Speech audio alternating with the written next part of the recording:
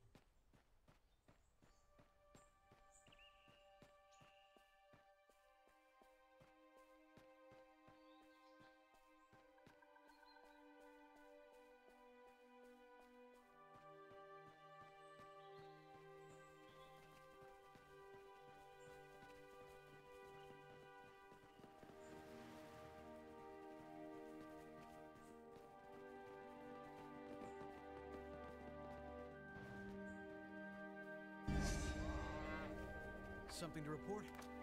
This area isn't